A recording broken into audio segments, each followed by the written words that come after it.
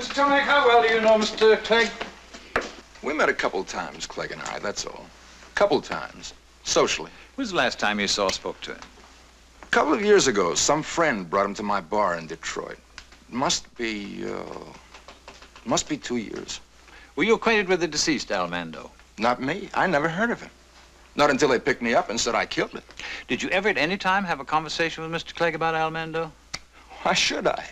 I didn't know the man. Look, I'm a businessman. I own a cocktail lounge in Detroit.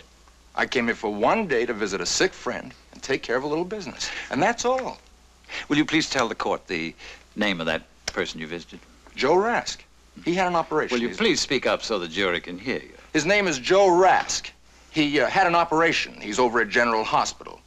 Ask him. Hey, ask the nurse. She saw me. And he made sure she did. Now I'll ask him where he was the day of the killing. Now, the 12th of October, which was the date that uh, Mr. Mando was killed, will you please tell the court where you were? I left here at 7 o'clock in the morning. I drove a friend's car back to Detroit. Arriving when? 1.30 in the afternoon. Anybody in Detroit see you? My bartender. And my wife.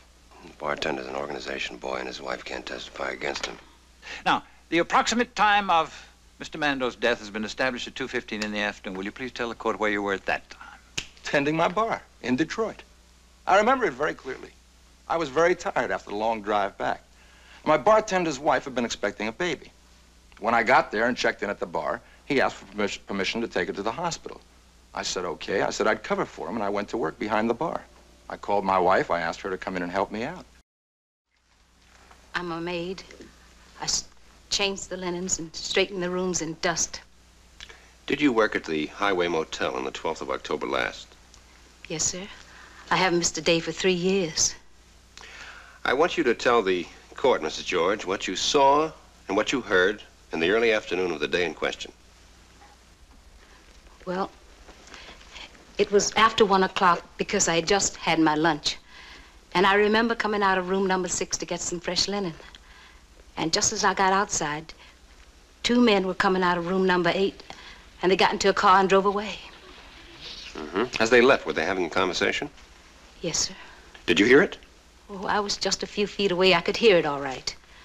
Now, to the best of your recollection, would you repeat to the court what you heard? Well, one man asked, Where are you taking me now? And the other man said, Over to my office. You want a job, don't you, Al? I'm sure that was the conversation. You want a job, don't you, Al? Is she right? Well, like I Well. said, they, they got into a car and drove away. Well, what? About an hour later, it must have been about two o'clock, just one man came back. Are you sure of the time? Oh, I'm sure, all right, because it takes me an hour to clean three rooms, and I had just cleaned my third room when this one fella came back. And the next morning, when I bought my paper, there was this picture of this man called Al. It said he had been murdered. Did it say where the body was found? Yes, in a stone quarry. That's about, oh, three miles from the motel. They don't work it any longer. All right, Mrs. George. I want you to look around the court and tell us if the man you saw with Mr. Mando is in this courtroom. Yes, sir. Would you please identify him?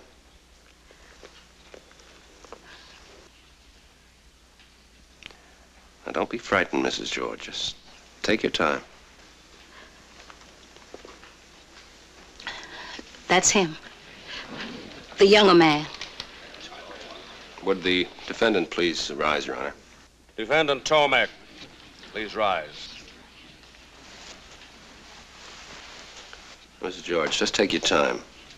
Are you absolutely sure that this is the man you saw with Mr. Mando? Yes. That's him. That's him, all right. Clerk, let the record show the witness has identified defendant Ralph Tomek. Nothing further, Your Honor. If the court please, we request a brief recess. I'd like to consult with my clients. Court will reconvene in 30 minutes.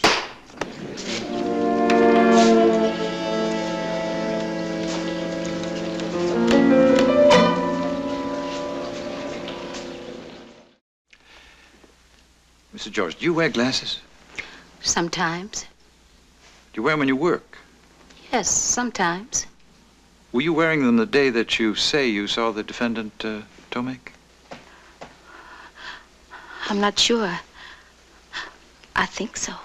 But you're not sure. No. How far would you say it is from where you are now sitting to where Miss, uh, to where uh, Mr. Tomek is sitting? About 12 or 15 feet. Uh, excuse me, Mrs. George. Your Honor, may I uh, interrupt the cross-examination of this witness for a moment? Why, Mr. Luther? Well, with the court's indulgence, I would like to talk to my clients for a moment. For a moment. What is it? Ask her to identify him again. But she just did. Yeah, I know, but she was so far away she might have made a mistake. But ask her. Now be a good boy. Ask her.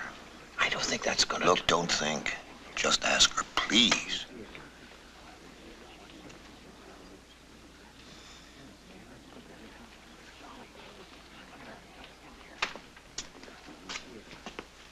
Miss George, I'm going to ask the defendant Tomek to step closer to you.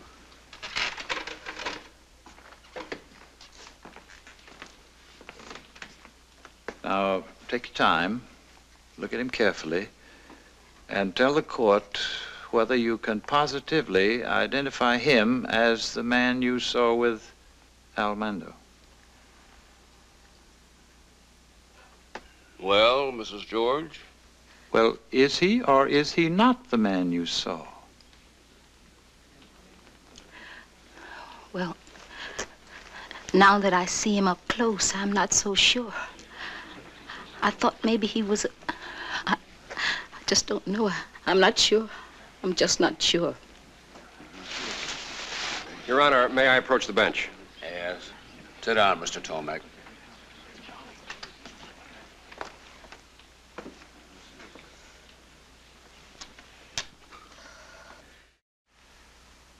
Who brought Al Mando to you?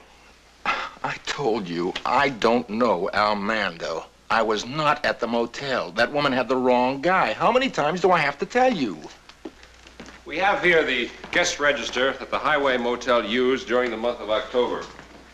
On the 11th day of October, one day before Al Mando was killed, a Mr. Joe Wenko registered. Is that name familiar to you? You know my name. Isn't Wenko your wife's maiden name? Or shall we compare your handwriting with a signature in this register? That stupid, stupid punk.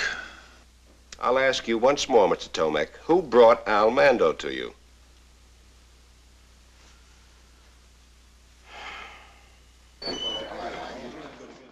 He trusted you, didn't he? I, I was just trying to help him. You were just trying to help him. How? By taking him to the Highway Motel where Tomek was waiting to kill him? No! No! Yes! No! No! No! You better do something. What would you suggest I do? What? I'd know what to do. I'd know. All right. You, uh, want some water? I tried to explain. I, I told him about Al and me, how, how we grew up together. He, he said, he said, get him out of the apartment. Get him to Tomek. He said, we just want to talk to him. That's all, just talk. He promised me they weren't going to kill Al. He told me Tomek was just going to throw a scare into him so that Al wouldn't testify at the new tax trial. I didn't know they were going to kill him. I didn't. I, I, I thought they were just going to talk to him. They were just going to warn him. Did Earl Clegg tell you this? Yes.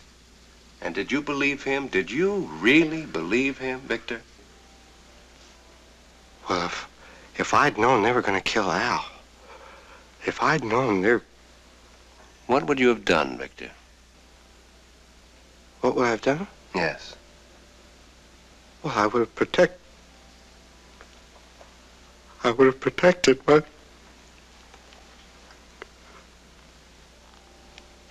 My brother.